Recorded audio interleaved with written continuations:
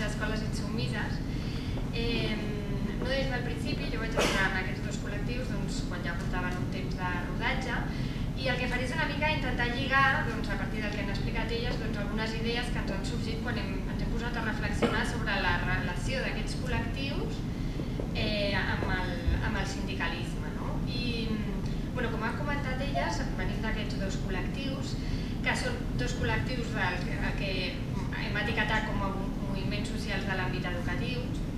Eh, a, a Catalunya, el moviment social de l'àmbit educatiu és en realitat una constel·lació de petits col·lectius amb forces i musculatura molt diversa que sorgeixen, com, com han explicat elles, doncs de greuges o situacions molt concretes, com són les retallades, eh, la LOMCE, la falta de places de l'escola pública, que aquest, per exemple, és un problema supercandent aquests dies, i que en molts casos ha confluït també amb l'empenta del 15M.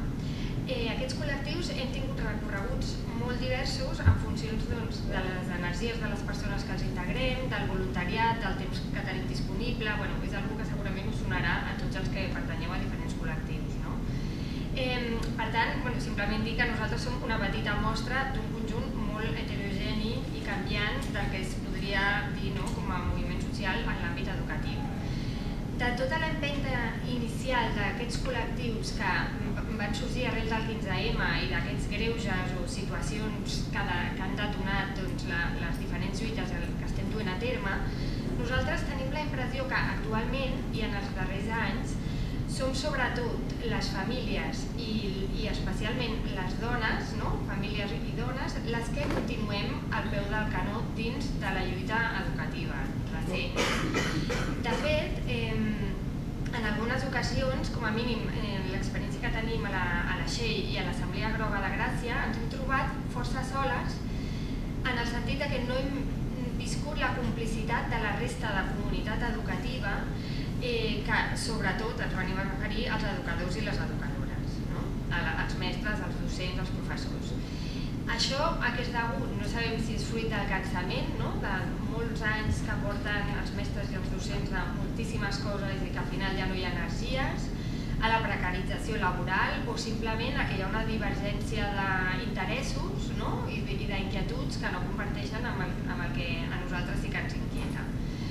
Si entrem ja en la matèria de les nostres lluites, no? a les opressions que podríem dir que han donat sentit a l'existència de col·lectius com els nostres, una primera idea que ens ve al cap a l'hora de pensar en la nostra relació amb els sindicats que la nostra lluita, com una mica han explicat elles, eh, clarament ha sobrepassat els límits del treball no? i s'ha focalitzat, per una banda, en la identificació i la denúncia de la privatització i la mercantilització de l'educació pública i la crítica no? una mica més enllà de fons del sistema neoliberal i del capitalisme en què vivim i més darrerament eh, s'ha centrat en, o sigui, ens hem focalitzat en la construcció d'una alternativa, no? d'un model alternatiu educatiu que posi la vida al centre, no? podríem eh, qualificar així.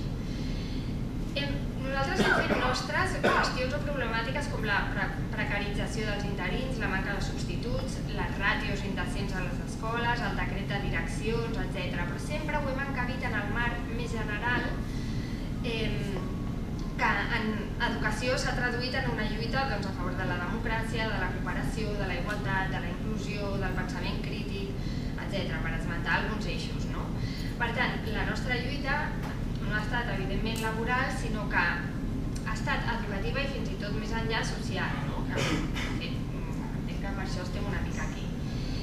Um, aquesta contraposició entre lluita laboral o lluita social, alhora cal sumar un tercer eix, que és el de la lluita pedagògica, no? que és mm, crucial en el, en el nostre àmbit no? de l'educació, que sembla que hagi quedat com al marge de les lluites que hem anat fent els diferents col·lectius dels moviments socials i, del, i de l'àmbit sindical i que hagi, sembla que hagi entrat, han, entrat tan sols en escena de manera contundent de la mà dels lobbies educatius privats. No? De sobte, o sigui, nosaltres hi havia com unes lluites laborals amb aquest recorregut que portem d'anys de, no, de diferents eh, accions, etc., doncs portàvem eh, des dels sindicats fent-se unes lluites doncs, per les condicions laborals dels docents, des de les assemblees grogues doncs, per la privatització, etc. i de sobte un dia ens va sorgir el discurs, no? el tema de la renovació pedagògica, la innovació i va entrar el, el tema de la pedagogia dins de la lluita. En, en, en un context com el d'avui, no? aquesta, aquesta reunió en la que estem avui, eh, eh, i amb un passat tan, tan conegut com que coneixem prou bé, sobretot tots vosaltres, com és el de la pedagogia llibertària, no? doncs eh, bueno, pensem que és molt important destacar no? doncs aquest tercer de lluita que ha sorgit en, en el nostre àmbit. Que nosaltres, des de la xarxa d'escoles insubmises, a través d'aquesta insubmissió que hem fet a les proves de competències i des de l'Assemblea Groga de Gràcia, a través d'aquestes trobades reflexives sobre avaluació, sobre educació feminista, etc., doncs, considerem doncs, que també no? hem entrat dintre de... O sigui, hem agafat el toro per les banyes sobre el tema de la pedagogia, no? entenent que també forma part de, de, de la nostra vida. Eh, nosaltres veiem que alguns sindicats han, han ampliat la seva mirada a aquestes lluites, o sigui, és a dir, que la seva tasca no només ha estat eh, bueno, temes estrictament laborals o de treball, però malgrat això, en la pràctica, eh, la imatge que pensem que es continua donant des dels sindicats és la de que, i segurament ha de ser així, no? però bueno, relacionar-ho amb els nostres col·lectius, és la de que el seu subjecte polític continua sent el treballador assalariat, les seves eines, la vaga i la negociació, i el llenguatge, un llenguatge de lluita de classes que avui en dia a vegades costa que connecti doncs, amb, amb la gent. No?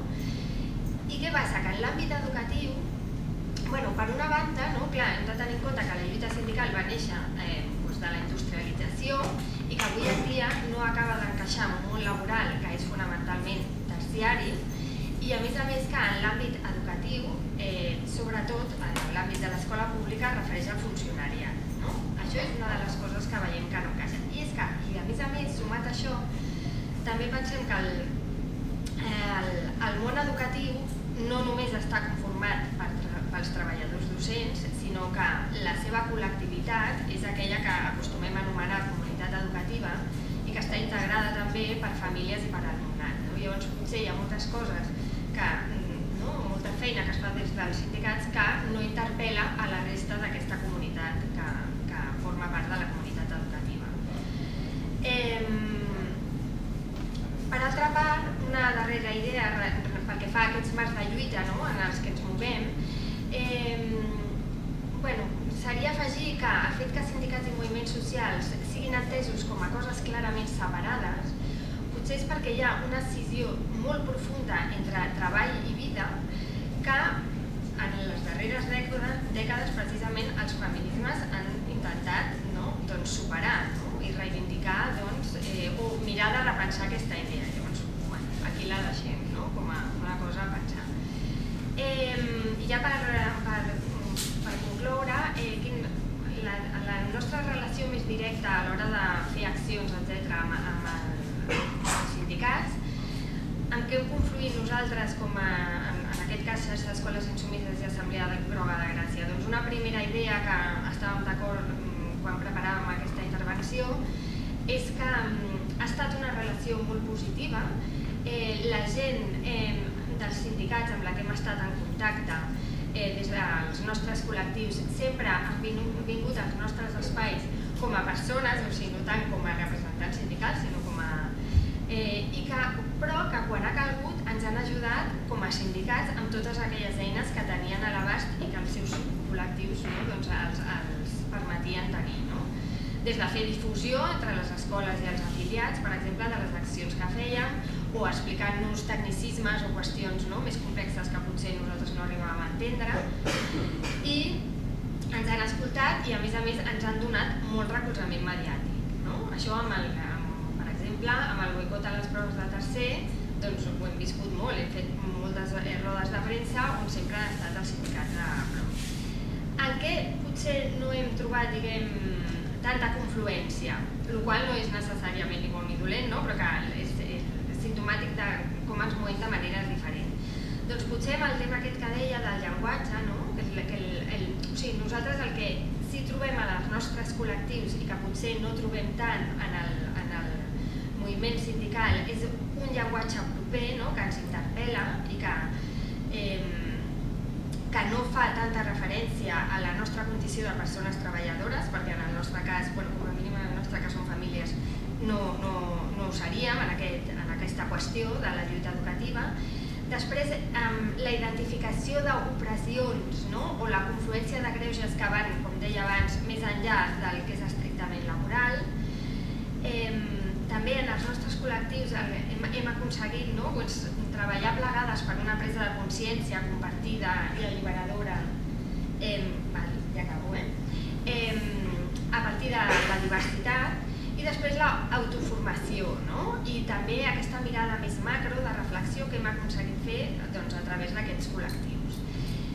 I ja, ja sí que acabo, 30 segons, la desobediència és potser allò en el que menys propers ens hem trobat als sindicats, diguem, i alhora que nosaltres també veiem que des dels col·lectius on estem hem fet accions d'insubmissió, per exemple, això que explicàvem de les proves de tercer, no? de no portar els nostres fills a l'escola perquè no facin les proves. Eh, són accions doncs, que ens han empoderat molt, que han tingut els seus resultats mediàtics i com ha explicat la Núria, doncs, han fet que en altres eh, comunitats autònomes ja no es facin les proves, etc. Però sí que hem vist que al llarg dels anys han anat mm, perdent no? eh, pistonada i no hem trobat eh, dintre del, del sector docent diguem, una ajuda, una empenta que portés també a fer desobediència per part dels docents, per moltíssimes raons molt complexes que, bueno, aquesta seria doncs,